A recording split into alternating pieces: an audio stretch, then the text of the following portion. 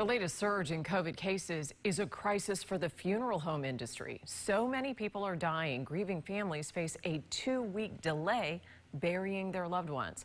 Melanie Michael reports from the Wilson Funeral Home in Tampa. The funeral director here tells me he is doing his very best, working around the clock seven days a week. But he also points out there is simply not enough time or space to bury every victim of the virus.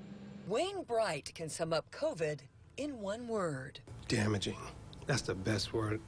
That's the, it just damages everything. This Tampa funeral director knows firsthand just how damaging COVID can be.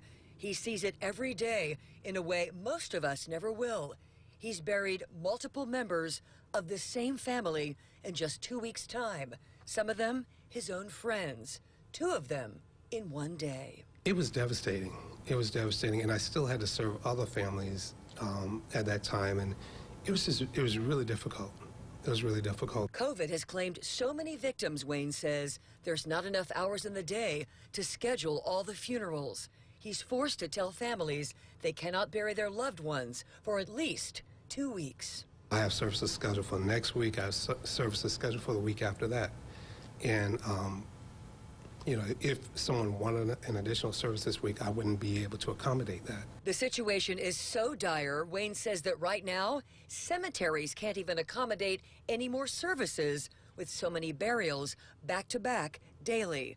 He says the virus is spreading faster and faster at such a rapid rate, he's worried that hospitals and funeral homes will not be able to keep up. I know what it's like to make arrangements with a family for uh, uh, someone who passed from COVID, and then a few weeks later, you're serving them because they've passed.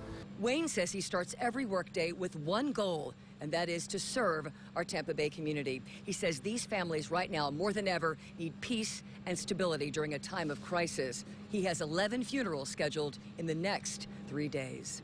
I'm Melanie Michael, 8 on your side.